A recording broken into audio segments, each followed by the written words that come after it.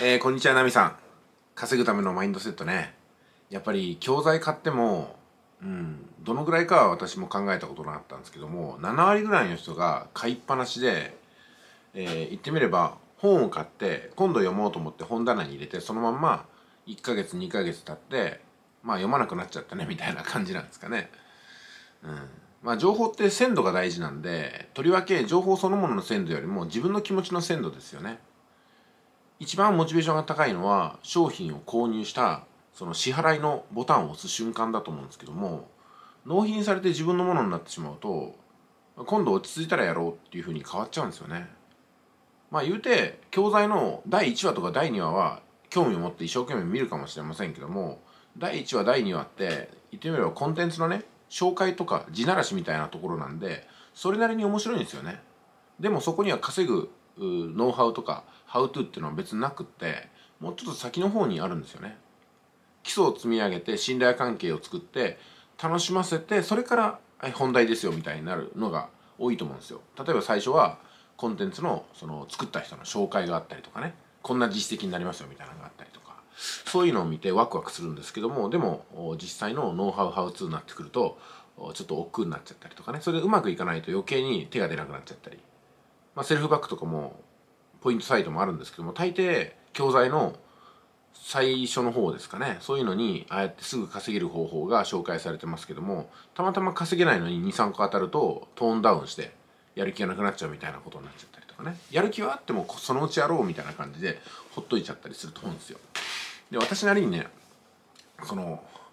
まあナミさんが言うように一生懸命やれる特別な人になれるかそれとも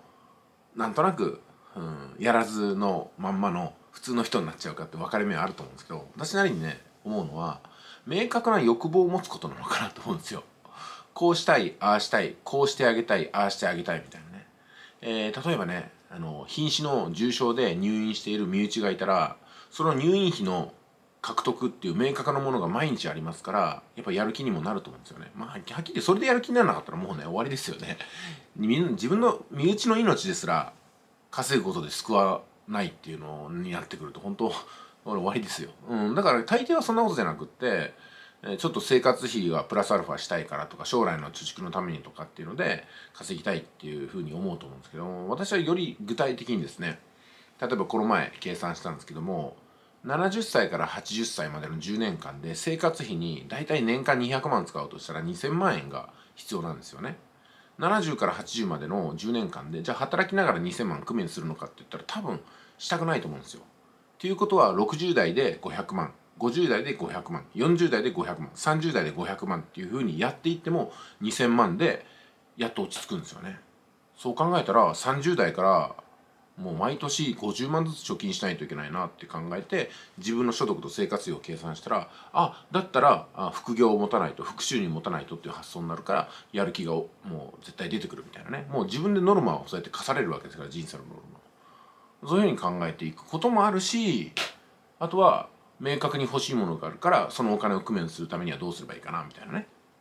あのなんかこう教材とか暗号通貨とか欲しいなと思ったら自分の今あるお金で買うっていうよりもじゃあそのお金を捻出するために副収入を発動させるみたいなことの繰り返しできたかなっていうところもありますからね。まあ、考え方いろいろあると思うんですけども私はそういうふうに考えて、まあ、ここまで来たっていう感じで、まあ、ナミさんもいろんな考えのもと今があると思いますしね、えー、そして今度はあなたはどういう考えでどうあるかっていうことをねこれからビジネスをやっていきたいっていう方にちょっと問いかけるところで今回の動画終わっていこうかと思います。いつも動画の方をね、送っていただきましてありがとうございました。ナミさん、またよろしくお願いします。